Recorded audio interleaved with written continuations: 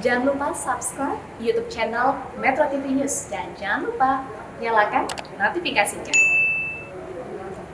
Kita ke informasi pertama pemirsa Bupati Pemalang Mukti Agung Wibowo memilih tutup mulut saat ditanyai wartawan siapa anggota DPR RI yang dirinya temui sebelum ditangkap penyidik KPK di gerbang pintu keluar gedung DPR RI.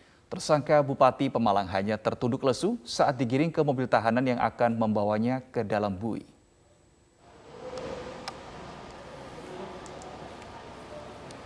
Usai diperiksa intensif 1 kali 24 jam dan mengikuti pengumuman tersangka pada Jumat tengah malam tadi, akhirnya Bupati Pemalang Mukti Agung Wibowo dan lima tersangka lainnya resmi ditahan penyidik KPK mulai Sabtu dini hari ini.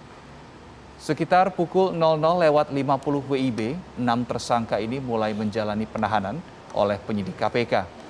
Tampak Bupati Pemalang Mukti Agung dan Adi Jurnal Widodo berjalan paling dulu menuruni tangga dari lantai dua ruang pemeriksaan dikawal sejumlah petugas rutan.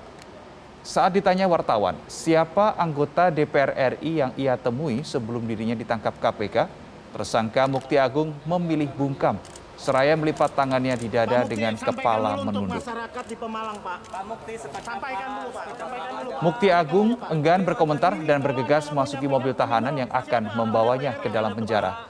Sama halnya dengan Bupati Pemalang, Mukti Agung, lima tersangka lainnya tampak enggan berbicara, bahkan terkesan tidak menggubris pertanyaan wartawan yang mencoba mengkonfirmasi kepada para tersangka. Ketemu di DPR ketemu siapa Pak? Sebut aja. Sampaikan aja Pak. Minim kalau Anda nggak mau nyampaikan minimal siapa orang DPR yang Anda temui? Siapa yang Anda temui di DPR itu siapa Pak? Pak ada Pak, gimana Pak? Sini, sini, sini. Pak, proyek tanggul Pak. Proyek strategis Pak. Silakan, silakan sampai jalan. Pak Mukti, sampaikan dulu. Anda itu ketemu di DPR ketemu siapa Pak? Sebut satu aja lagi, Pak. Satu lagi, satu lagi, satu lagi. Satu lagi.